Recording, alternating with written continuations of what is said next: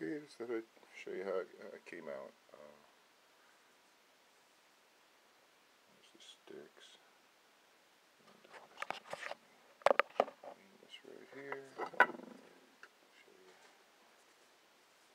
going in there. Okay.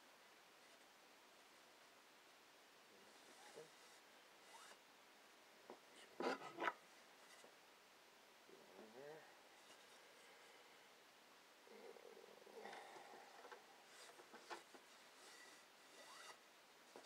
Okay. There's the sticks.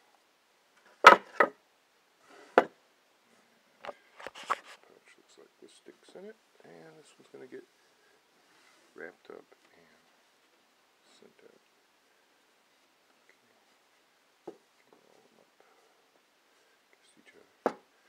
And I guess I could make the pouches a little smaller, but at this point I've already cut all my patterns to make them just like this. So that's just how they're going to be. And uh,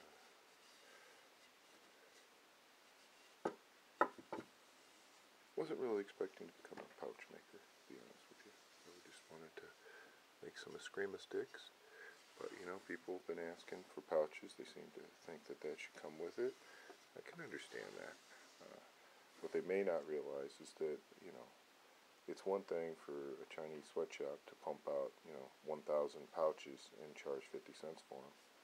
And it's another thing for a guy to sit down, make a pattern, cut a piece of fabric, hem it, sew it, you know, all that.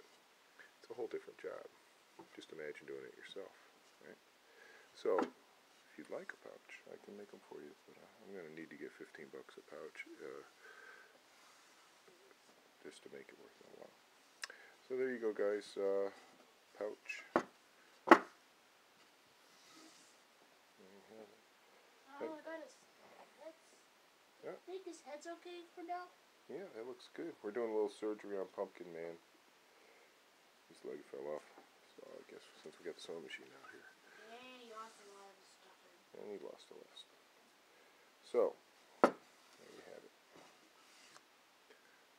Doing a little sewing here in the morning.